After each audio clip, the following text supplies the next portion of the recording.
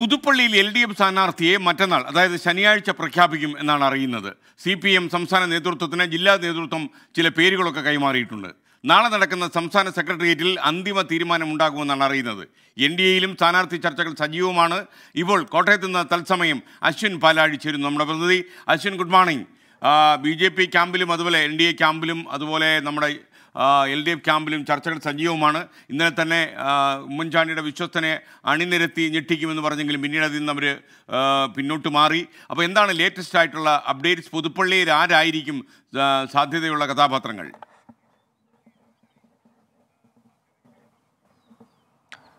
Good morning S K N എന്തായാലും ഇന്നലെ ചില അപ്രതീക്ഷിത ട്വിസ്റ്റുകളാണ് പുതുപ്പള്ളിയിൽ ഉണ്ടായത്. അതിന്മേലുള്ള വിവാദങ്ങളും ചർച്ചകളുമൊക്കെ രാത്രി വൈകിയും നീണ്ടു. പക്ഷേ അതിനൊക്കെ ഒരു എട്ട് മണി വരെ ആയുസ് ഉണ്ടായിരുന്നുള്ളൂ. സി പി ഐ എം തന്നെ അക്കാര്യത്തിൽ ഒരു വ്യക്തത ട്വന്റി ഫോറിലൂടെ തന്നെ നൽകി. പാർട്ടി സ്ഥാനാർത്ഥി തന്നെ പുതുപ്പള്ളിയിൽ പാർട്ടി ചിഹ്നത്തിൽ മത്സരിക്കുമെന്ന തെരഞ്ഞെടുപ്പിന്റെ ചുമതലക്കാരനും സി പി എമ്മിന്റെ സമുന്നത നേതാവുമായ വി എൻ വാസവൻ തന്നെ ട്വന്റി ഫോറിൽ വ്യക്തമാക്കിയിരുന്നു. അതോടുകൂടി ആ വാർത്തകളുടെ ഒരു മുന്നോട്ട് പോക്ക് അവിടെ അവസാനിച്ചു. എന്തായാലും ഇനി ആ വിമത സ്ഥാനാർത്ഥി എന്ന് പറയപ്പെടുന്ന ആളുടെ പ്രതികരണമാണ് വരേണ്ടത്. എങ്ങനെയാണ് വിവാദങ്ങൾ ഉണ്ടായത് എന്നടക്കമുള്ള കാര്യങ്ങളിൽ വ്യക്തത വരേണ്ടതുണ്ട്. അതേസമയം സി പി എമ്മിന്റെ സ്ഥാനാർത്ഥി പ്രഖ്യാപനം മറ്റന്നാൾ ഉണ്ടാകുമെന്നുള്ളതാണ് പുതുപ്പള്ളി തെരഞ്ഞെടുപ്പുമായി ബന്ധപ്പെട്ട അടുത്ത ഏറ്റവും പ്രധാനപ്പെട്ട ഒരു വാർത്ത. നാളെ ഇതുമായി ബന്ധപ്പെട്ടുള്ള ചർച്ചകൾ സംസ്ഥാന സെക്രട്ടേറിയറ്റിൽ ഉണ്ടാകും തിരുവനന്തപുരത്ത് ചേരുന്ന യോഗത്തിൽ സ്ഥാനാർത്ഥിയുമായി ബന്ധപ്പെട്ട ഏറ്റവും പുതിയ വിവരങ്ങൾ പാർട്ടി ചർച്ച ചെയ്യും.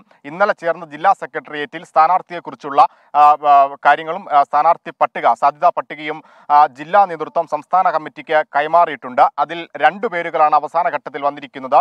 ജെയ്സി തോമസ് അല്ലെങ്കിൽ റെജി സക്രിയ എന്നുള്ള ഒരു പേരാണ് ജില്ലാ നേതൃത്വം സംസ്ഥാന കമ്മിറ്റിക്ക് അയച്ചിരിക്കുന്നത്. ഒരുപക്ഷെ അതിൽ സംസ്ഥാന നേതൃത്വത്തിന്റെ തിരുത്തുകളും കൂട്ടിച്ചേർക്കലുകളും ഉണ്ടായേക്കാം. ഈ രണ്ട് സ്ഥാനാർത്ഥികളല്ലാത്ത മറ്റൊരു സി പി എം നേതാവ് തന്നെ ഒരുപക്ഷെ പുതുപ്പള്ളിയിൽ മത്സരിച്ചേക്കാം എന്നുള്ള സൂചനകളൊക്കെ പുറത്തു വരുന്നുണ്ട്. എന്തായാലും അതിന് നാളെ കൂടി ക്ഷമിക്കേണ്ടതുണ്ട്. നാളത്തെ അന്തിമ തീരുമാനത്തിന് ശേഷം പന്ത്രണ്ടാം തീയതി രാവിലെയോടുകൂടി കോട്ടയത്ത് തന്നെ സ്ഥാനാർത്ഥി പ്രഖ്യാപനം ഉണ്ടാകുമെന്നുള്ളതാണ് ഇന്നലെ ജില്ലാ സെക്രട്ടേറിയറ്റിന് ശേഷം സി പി എം നേതാക്കൾ അറിയിച്ചത്.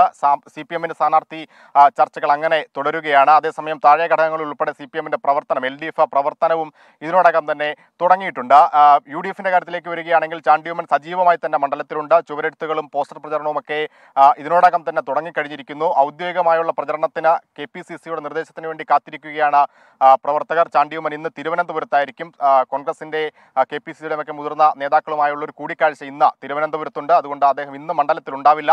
ഒപ്പം എൻ ഡി എയിലും സ്ഥാനാർത്ഥി ചർച്ചകൾ സജീവമായി തുടരുകയാണ്. ഇന്ന് രാവിലെ പത്തു മണിക്ക് പുതുപ്പള്ളിയിൽ നേതാക്കളുടെ യോഗം ഒപ്പം പ്രവർത്തകരുടെയൊക്കെ യോഗം വിളിച്ചിട്ടുണ്ട്. ആ യോഗത്തിലായിരിക്കും സ്ഥാനാർത്ഥി ആര് എന്നുള്ള ഒരു കാര്യത്തിൽ എൻ ഡി എയുടെ ചർച്ചകൾ ഔദ്യോഗികമായി ആരംഭിക്കുക.